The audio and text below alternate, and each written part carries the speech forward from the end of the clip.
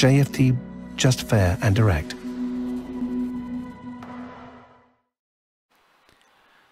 Good morning everyone and welcome to JFD's daily market review for September the 8th.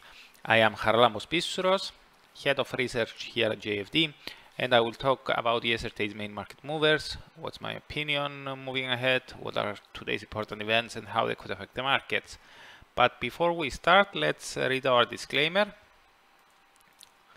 The content we produce does not constitute investment advice or investment recommendation, should not be considered as such, and does not in any way constitute an invitation to acquire any financial instrument or product.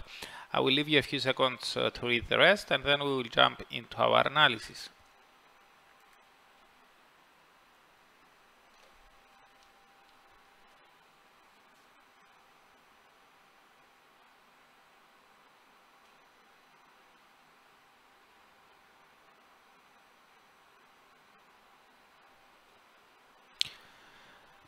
Okay, uh, the US dollar traded higher against all the other major currencies on Tuesday during the Asian session Wednesday. It gained the most it, it gained the most versus CAD, CHF and AUD in that order, while it eked out the least gains versus the euro and uh, the New Zealand dollar. Now the strengthening of the US dollar and the weakening of the risk-linked uh, loonie and Aussie suggest uh, that uh, markets may have traded in a risk on in a risk-off uh, fashion excuse me, in a risk-off fashion yesterday and today in Asia. However, the weakening of the CHF and the fact that the Kiwi lost uh, the least ground uh, point otherwise. Thus, in order to get a clearer picture with regards to the broader market sentiment, we prefer to turn our gaze to the equity world. Here, major EU and US indices traded in the red, with the only exceptions being Spain's IBEX uh, 35 and Wall Street's Nasdaq, which gained somewhat. The soft appetite rolled over into the Asian session today as well. Although Japan's Nikkei kept drifting north following uh, Prime Minister um, Suga's decision, Suga's decision on Friday to step down, China's Shanghai Composite, Hong Kong's Hang Seng, and South Korea and South Korea's KOSPI all uh, slid. Now, with uh, with uh, no clear catalyst behind the pullback, we guess that investors may have adopted a cautious stance as we get closer to the ECB meeting scheduled for tomorrow. With the economic recovery gathering pace in the Eurozone and inflation accelerating uh, to a rate not seen in the past decade in August, some officials believe that they should uh, consider gradually scaling back their programs, especially uh, the, per, uh, the Pandemic Emergency Purchase Program called PEPP. Thus, it will be interesting to see whether we will get uh, a tapering decision this week or not. They may not rush into any final decision at this uh, gathering as they may prefer to wait for a while uh, more, for a while more to see what happens with the pandemic and its new mutation after the summer. But uh, even if they do decide to scale back their pace of monthly PEPP uh, purchases at this gathering, they may compensate by making more purchases through other schemes. Now, as for today, ahead of the ECB, uh, another central bank is scheduled to decide on monetary policy, and this is the Bank of Canada.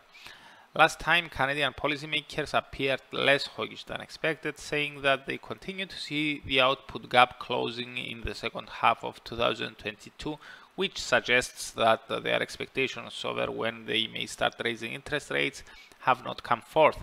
What's more, both the headline and core Canadian inflation rates for July declined.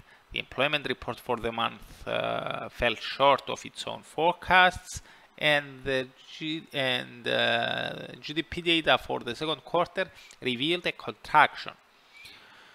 So all this adds uh, credence to the bank's view and raises questions as to whether officials will appear uh, more dovish this week.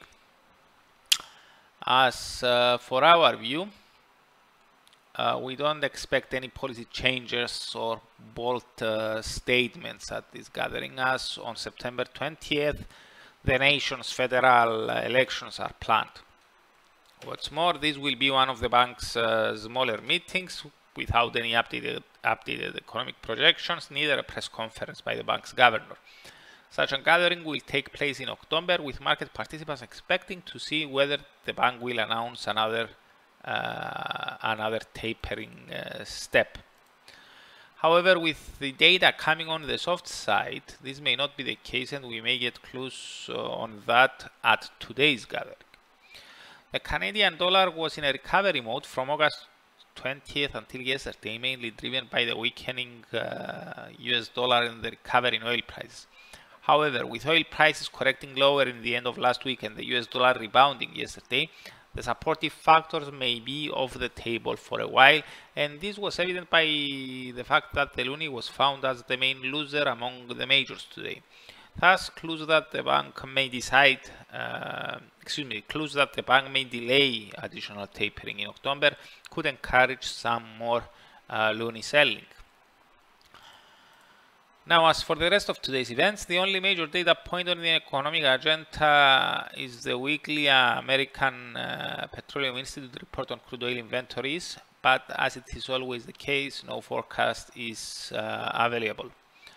We do, however, have several speakers, including New York Fed President John Williams and ECB Supervisory Board member Elizabeth McCaul.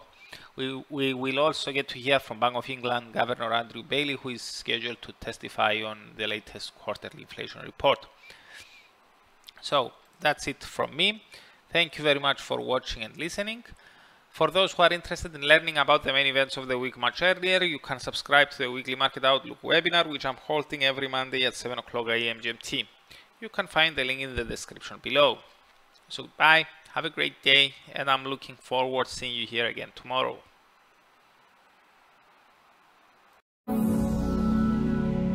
JFD, just fair and direct.